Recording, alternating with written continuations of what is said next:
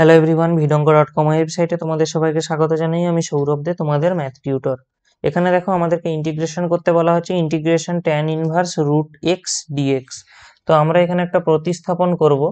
ধরি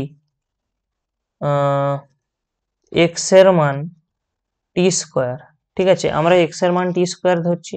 তাহলে আমরা কি পেয়ে যাব না? টু এক্সের মান হয়ে যাবে টু টি ডিটি অ্যাকচুয়ালি দেখো এক্সের মান টি স্কোয়ার এটা মানে কি না, আমরা অ্যাকচুয়ালি রুট এক্স সমান টি ধরেছি।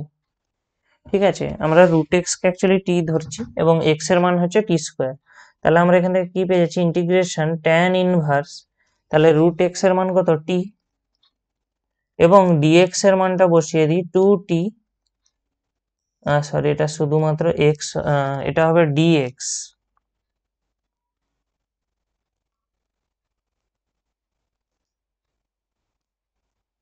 এই পার্টটা হবে dx equal to two t dt সেটা বসিয়ে দেওয়া হলো, তাহলে টুটা আমাদের ইন্টিগ্রেশনের বাইরে চলে গেলে কি পাচ্ছি আমরা? না integration tan inverse into t dt আমরা এখানে আংশিক সমাকলন পদ্ধতি লাগাবো, যেখানে এই ট্যান ইনভার্স টিকে আমরা ফার্স্ট ফাংশন এবং এই টিকে আমরা সেকেন্ড ফাংশন ধরবো। তাহলে আমরা কি পাবো না? Two tan inverse t integration t dt minus two integration ddt of tan inverse t integration t dt dt okay তাহলে আমাদের কাজ হবে এই ইন্টিগ্রেশনটা ক্যালকুলেট করা। তো আমরা এখান থেকে কি পাচ্ছি না? Two into tan inverse t into t square by two minus two integration এই পার্টটা থেকে আমরা কি পাবো না? One by one plus t square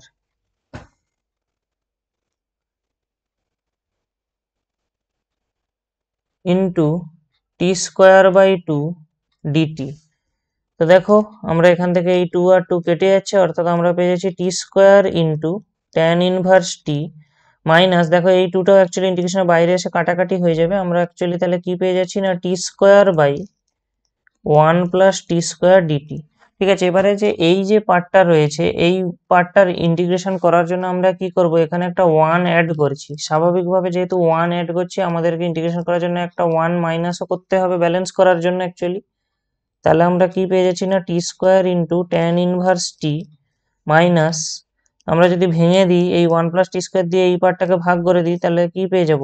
one হয়ে যাবে ভাগ হওয়ার ফলে, তার মানে শুধুমাত্র ডিটি থাকবে।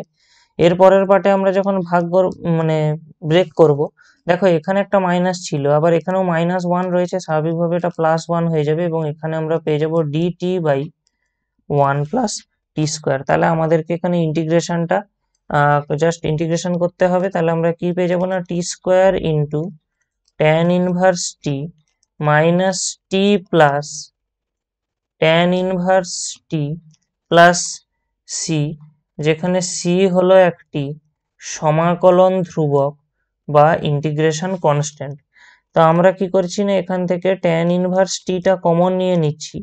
তাহলে আমরা কি পেয়ে যাব না t square plus one minus t এবারে আমরা দেখো শুরুতে কি ধরেছিলাম? এক্স স্কোয়ারের মান টি ধরেছিলাম।